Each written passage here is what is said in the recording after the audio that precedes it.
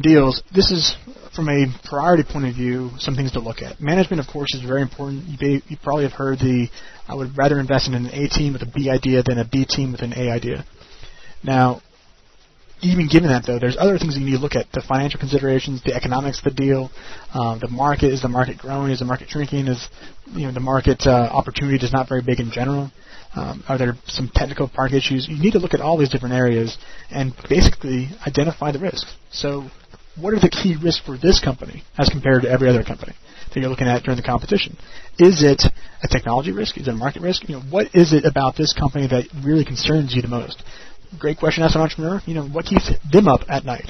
What are their biggest ideas about what the risks are from their perspective?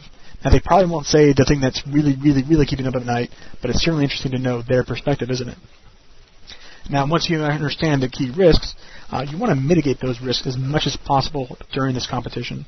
Now, one way to do that is to tranche the money. And what that means is that you identify, uh, working with the entrepreneur, asking them, you know, what key milestones do you see coming up the next six months, a year, uh, that can actually affect the potential for this company?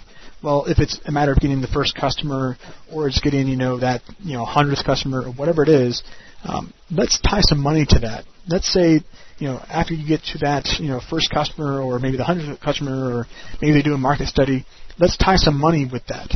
And that's what a tranche is, is basically saying, I'll give you some money up front, and I'll give you some more money later on once you hit this key milestone.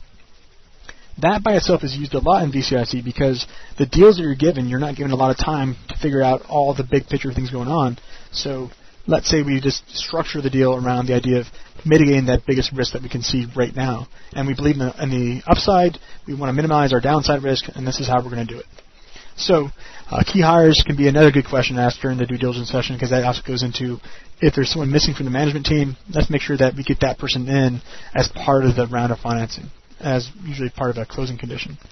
Uh, just getting the tranches, you might have you know 500,000 up front. You may maybe do a million dollar tranche in the first milestone, uh, maybe 500,000 dollar tranche later on. Well, overall, you're putting two million dollars into the company as part of this agreement to do Series A, but you're you're spacing that investment out over a period of time.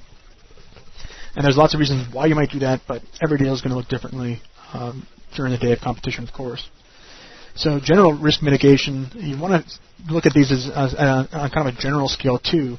Uh, can you get soft referrals to the company? Are they using a legal uh, law firm that's kind of one of the best in the country or something like that, or at least is at least well known in the area?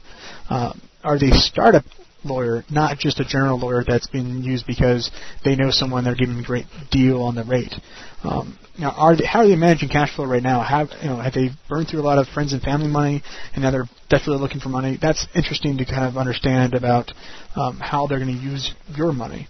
And on that same note, you know, use of funds is a fairly good question to ask during due diligence as well. You know, what are you going to do with the money? If it's not completely clear from the business plan how they're going to use that money, you need to ask.